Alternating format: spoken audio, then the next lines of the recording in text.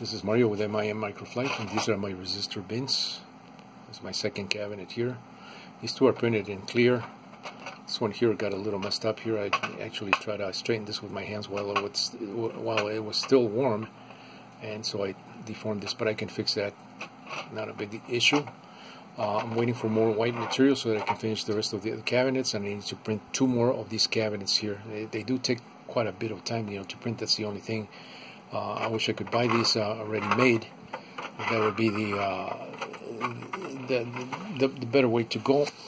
But since I can't find uh, cabinets in this particular size, you know, with this many uh, bins per uh, per tray, um, I decided to just design my own and, and, print them. The great thing about having the the original design is that I can modify these and I can make them wider for other parts. So.